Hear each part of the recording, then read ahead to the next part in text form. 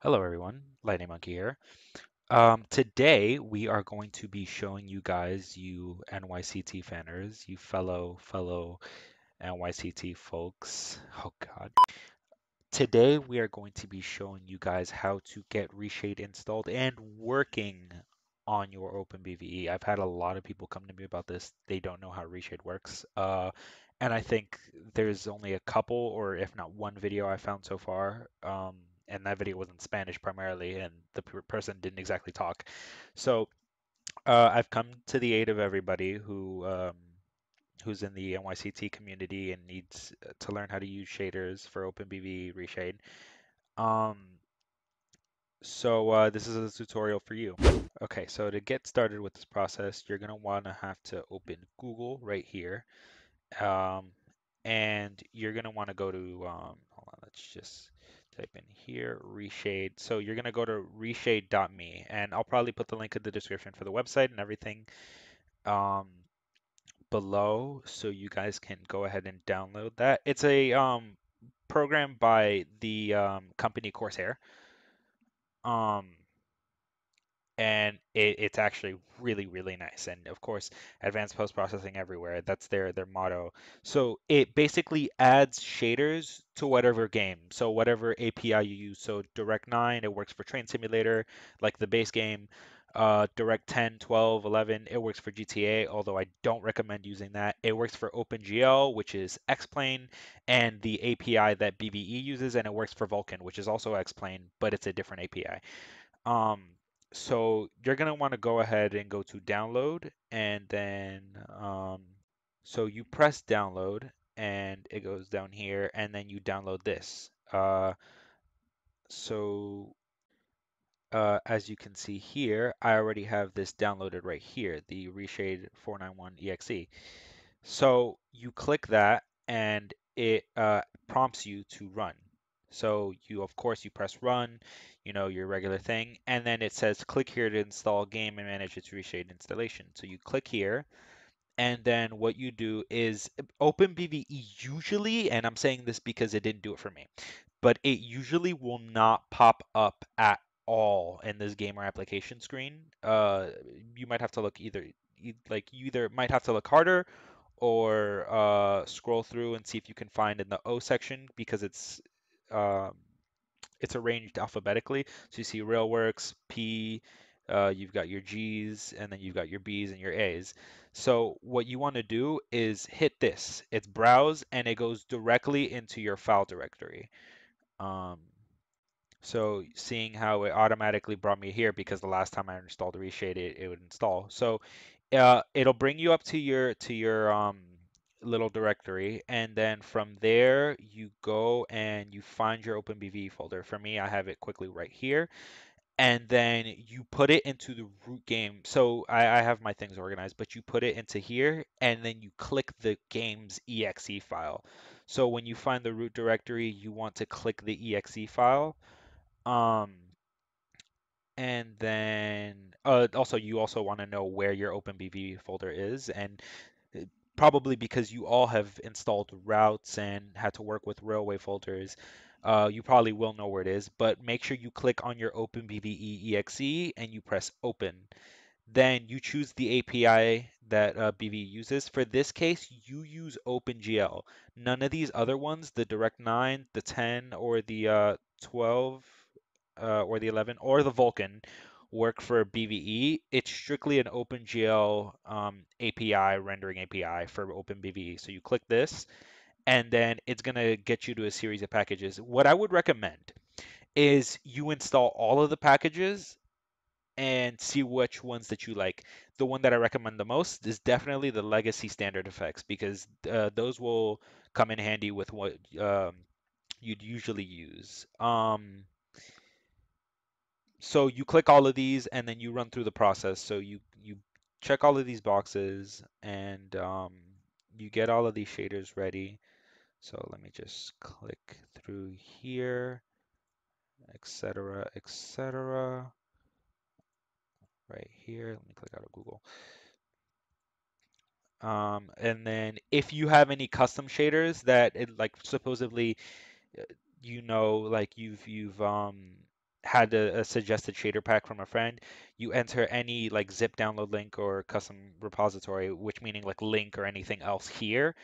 Um, but if not, you press OK.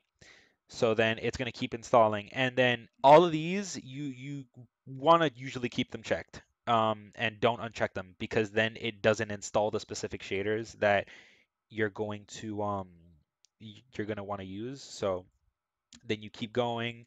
It's going to keep asking you. It's going to keep asking you again and again and again. Um, and by then, it'll just be a repetitive process of just it's going to keep asking you what shaders uh, until you get to hold on. It'll come here. Uh, but you genuinely want to check that all of these boxes are checked. So when you get here to the legacy shaders, some of the boxes will be unchecked you want to double check and make sure you scroll to all these boxes and you click them in manually. Um, there's no check all feature. I've tried. Uh, if you uncheck all, it'll just uncheck all and make work harder for you. Um, there will be no check all feature into this, um, which sucks. I hope they like in maybe 5.0, like the stable, they come with a check all feature when you're installing. But um, as per now, just manually check all of those boxes that you need.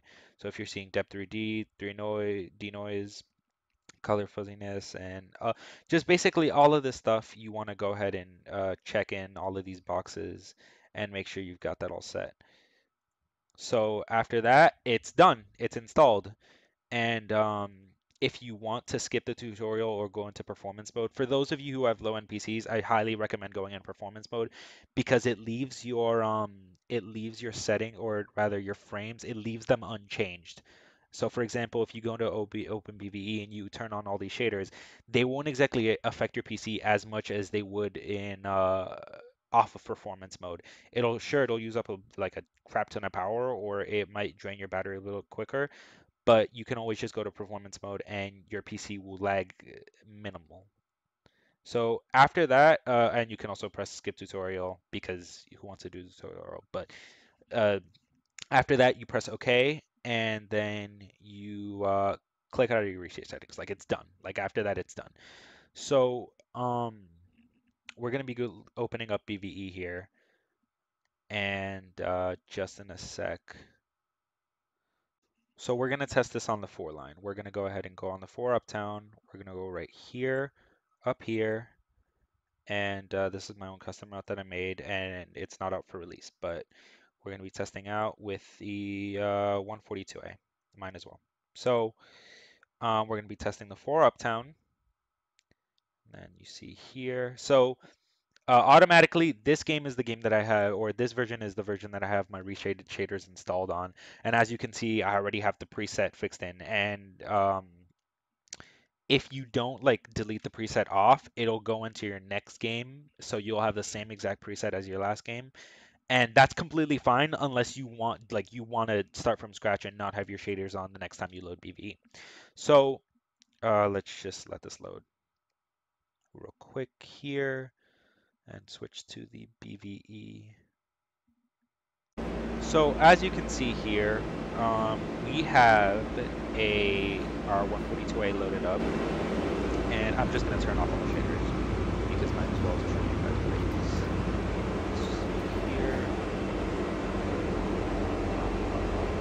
So uh, you may have noticed from uh, Mr. 1960s, 1970s lover that he uses a custom uh, like set of shaders for his OpenBVE. So I use a bunch more. Um, I use uh, a couple of things. So adaptive sharpen, which makes your textures and everything else uh, much sharper. I use uh, FXAA, which actually disapproves, uh, you know, color radiation and uh, a bunch of other stuff. Uh, this makes everything much more scenic, dark. It adds a lot, a lot of um, change for wise to how BVE and the shaders receive color and how the post-processing works in terms of uh, atmosphere. Motion blur, you can turn it on for a specific motion blur effect when you're flying through the tunnels. I do recommend this whenever you're in cab. Uh, whenever you're in exterior mode, it might be a little bit off-putting, but when you're in cab, I do recommend this. Of course, we have the ever famous Romeo Now, the intensity you can turn it down all the way. But I like to have my intensity around like in the 400 zone. Um, and I, I like have like it's right here where you can have the headlights a little bit and they shine through the tunnel. So uh, the next thing we're going to go over is eye adaptation. What eye adaptation does is, um, say for example, you're just waking up in the morning after having a dark night.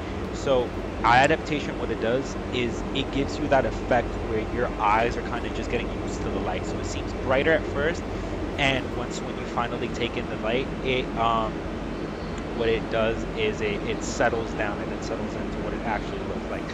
Uh, surface blur, it kind of has this really nice kind of look where it gives the, the surface less uh, sharpened or less kind of rigidness than it um, has in regular game.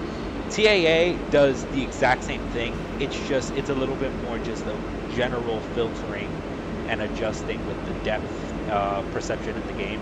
Flashlight, of course, you can use this in many, many multiple uses. Um, you can use this in the tunnels, for example, when you're in cab. So let me show that off right here. Uh, when you're in cab, it acts as a headlight reflection down the tunnels. Uh, and when you're in exterior, it acts like when you are checking down the train. Uh, so here we're going to get to something that uh, is personally recommended on only exterior because it will look weird on the interior. MXAO is the Marty McFly shadows. So it adds shadow, like it basically, it just adds shadows all over the place. You can see the difference now here.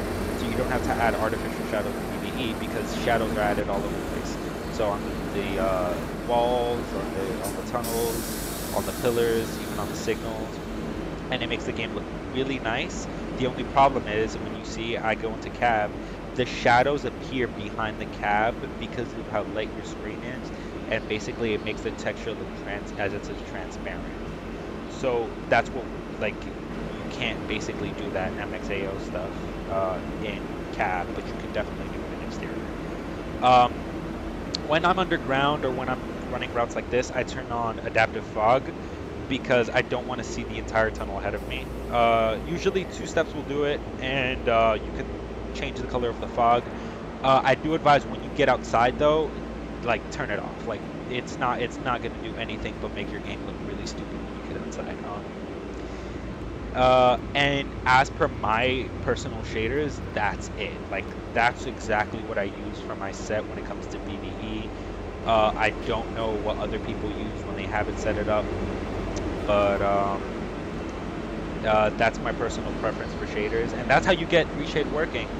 Uh, I wouldn't exactly say to uh, have the tutorial done because the tutorial is a kind of lengthy process and you could literally just press skip tutorial at the start of it um, and you could go straight into playing with shaders and seeing how you like things and uh, how you make your uh, BVE look great like how I did but um, this has been a great time kind of just teaching you guys all how to do shaders because I've had a lot of people ask me how do you set them up? And well I mean here's a video and I'll probably caption this for people who can't understand what I'm saying uh, even though my mic is probably really high quality and you guys can probably hear.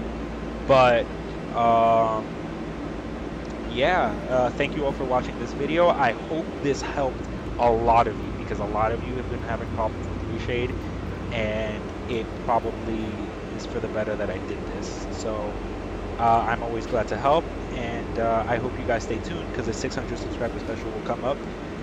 And uh, yeah subscribe hit that like button. Comment how you feel about this video. If you're having any trouble please please go in the comment box. I will respond as soon as possible. Um, and thank you for watching. Enjoy